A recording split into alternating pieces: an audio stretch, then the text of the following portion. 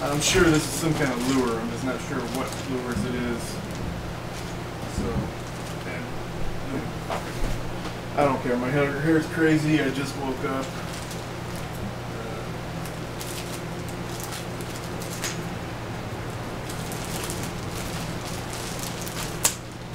Not sure if I'm gonna have any time to fish for a while. Uh, oh, okay. Man, these are a lot bigger than I was expecting them to be. Is pretty good stuff. eBay purchase. Handful of crankbaits. Should be eight of them. I believe. Yep, eight. Looks like I got three duplicates. Or two duplicates.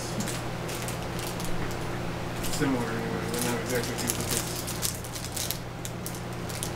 Red one.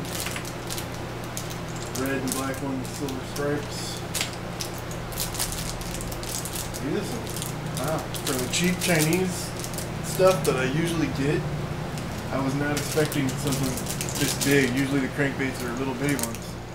This is a regular full-size crankbait, deep diving crankbait. Uh, I think this is probably going to be the best one. It's got the uh, red belly sunfish colors. And we got three others that are similar to it.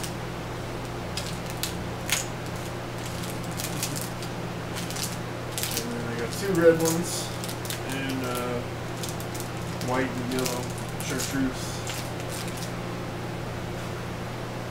And with these, I was I was expecting smaller ones. So eight of them total. And it was about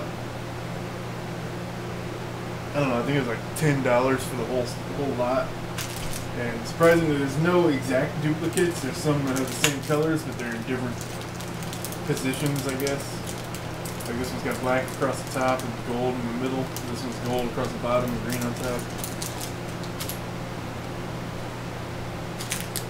Uh, this is going to be the most similar one, but the green and gold are swapped on them.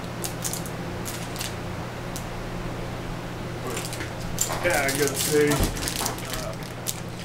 I really want to go try them out now, see how they how they work. I'm sure they do work. They look like they work fine. The hooks are just short enough where they don't touch. I don't have to worry about them getting tangled up. These are like real legitimate crankbaits and they're really lightweight though. They're lightweight, lighter weight than most crankbaits would be. So maybe they won't dive down too deep.